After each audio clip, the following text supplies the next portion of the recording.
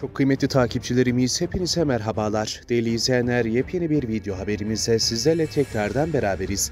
Bizlere desteğinizi sağlamak amacıyla kanalımıza abone olmayı, bildirim zilini açarak videolarımızın altına nokta dahi olsa yorum yapmayı unutmayın.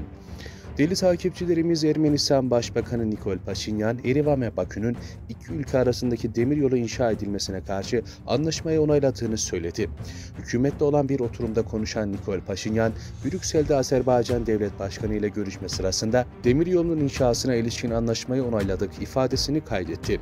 Paşinyan'a göre konu Ermenistan, Rusya, Azerbaycan Başbakan Yardımcıları arasında üçlü çalışma grubu çerçevesinde Rusya Devlet Başkanı Vladimir Putin'in arabulucu olması sayesinde Kafkas ülkesinin liderleri arasında Soçi'de görüşüldü. Paşinyan dün Azerbaycan Cumhurbaşkanı İlham Aliyev'le Brüksel'de bir araya gelmişti. Liderler Doğu Ortaklığı Zirvesi'ne katılıyor. Değerli takipçilerimiz Paşinyan söz konusu demiryolunun ülkelerin egemenliği altında uluslararası olarak kabul edilmiş görmüş sınır gümrük kuralları çerçevesinde faaliyet göstereceğini ifade etti.